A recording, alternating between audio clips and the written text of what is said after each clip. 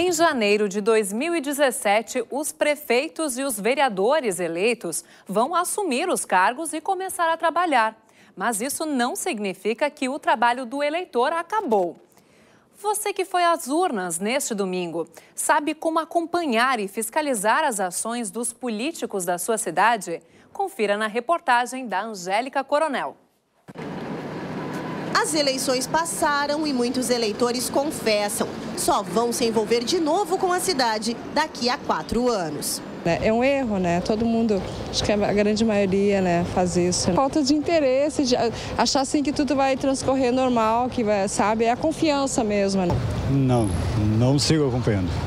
É agora que o trabalho do eleitor está começando. Ele tem o dever de fiscalizar o que fazem os gestores que acabaram de ser eleitos, tanto aqui nas prefeituras quanto nas câmaras de vereadores, são vários os mecanismos para que o eleitor possa fazer o trabalho de fiscalização. Uma das formas de participação são as audiências públicas nas câmaras de vereadores. Qualquer pessoa pode debater os projetos e dar sugestões diretamente para quem vai votar as leis. Outras são as assembleias do orçamento participativo. No ano passado, elas envolveram 20 mil porto-alegrenses. Para o ano que vem, estão reservados 260 milhões de reais para a conclusão de obras antigas e 50 milhões para novas obras. Um modelo adotado em mais de duas mil cidades, que faz do cidadão um dos gestores do município. É o desejo e o ansejo das pessoas em deliberar aquilo que eles querem para as suas comunidades, para o, desenvolvimento local. O que está me interessando mais? Quais é as obras? É uma creche? É uma, um posto de saúde? Né? É uma rua pavimentada? Toda a deliberação da, das comunidades no Conselho de Orçamento Participativo é acatada pela Prefeitura. Às vezes, só com um clique já é possível fiscalizar.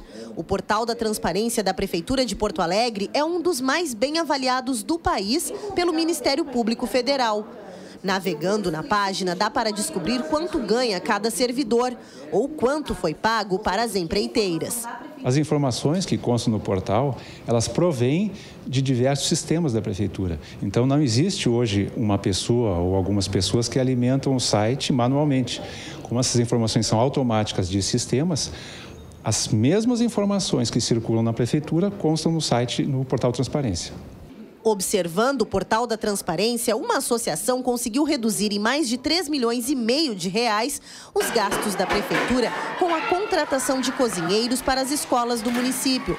A associação, formada por voluntários como Diogo, acompanha as despesas mais importantes e avisa para o executivo onde pode economizar. Nós atuamos preventivamente, comunicamos o gestor público a ponto que possa ser corrigido esse, essa deficiência ou esse dispêndio desnecessário. Então, a gente teve nos primeiros 12 meses uma economia de 15 milhões de reais que nós pudemos contribuir com a prefeitura. E mesmo sem fazer parte de nenhuma associação, dá para fiscalizar. O Christian garante que acompanha os gastos da prefeitura de Esteio. A gente tem informação e com a informação a gente se sente seguro. A gente sabe uh, em, que, em que pé está a administração e o porquê que acontecem as coisas e acaba atingindo né, o cidadão